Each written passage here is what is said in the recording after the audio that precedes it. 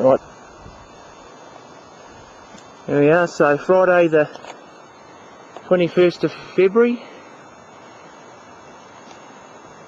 And that's it.